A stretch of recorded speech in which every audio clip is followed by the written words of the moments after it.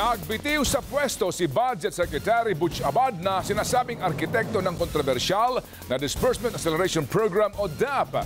Pero ito'y tinanggihan ng Pangulong Aquino. Nagpapatrol, RG Cruz. Bago nag-cabinet meeting tungkol sa 2050 national budget kanina, may binunyag muna si Pangulong Aquino. Yesterday, Secretary Abad um, gave me a letter tendering his resignation from the cabinet.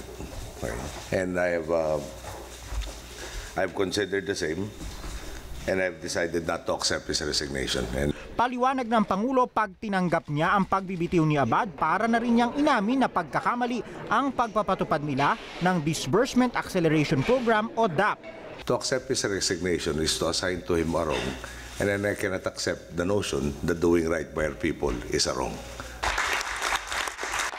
Nagpalakpakan ng gabinete matapos ang pahayag ng Pangulo. Maliban na lang kina Executive Secretary Paquito Ochoa at Vice President Jejomar Binay na dati nang nanawagan na ipaliwanag sa bayan ang DAP. Pero sa kanyang pahayag, sinabi ni Binay na ginagalang niya ang desisyon ng Pangulo. Si Abad ang sinasabing pasimuno ng DAP. Siya rin ang campaign manager ng Pangulo noong 2010. Si Abad din di umano ang mentor ni Janet Lim Napoles sa pork barrel scam. Bago nagsalita ang Pangulo, inamin ni Presidential Advisor on the Peace Process Ging Deles sa kanyang opening prayer na isa ang DAP sa mga problema ngayon ng gabinete. This season of disquiet and turmoil has so sorely tested our souls. Legal cases have been filed and more where there is none. Pinaalis ang media pagkatapos ng pahayag ng Pangulo pero kumalat ang balitang nag-walkout si Ochoa.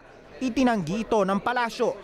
Base sa mga memo mula 2011 hanggang 2013, tanging sina Abad at Pangulong Aquino lang ang nakapirma para magbigay basbas sa DAP.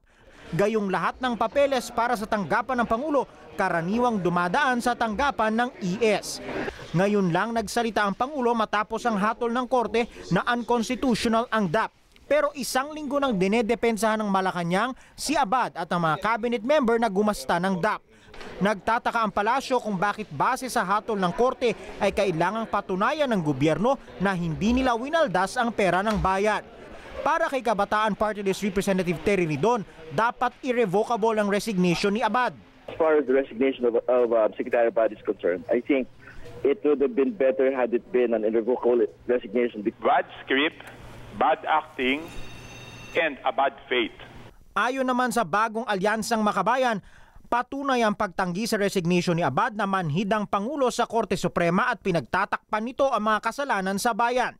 Naniniwala si Bayan Muna Representative Nery Colmenares matibay itong basihan para sa impeachment ni Pangulong Aquino. that should not take away the culpability uh, of President Aquino. He is the one who approved it. He is the one, he is the author as far as the Supreme Court decision is concerned of, of the DAP. So, and the DAP, no matter what Malacanang says, we believe that uh, billions of pesos were lost there.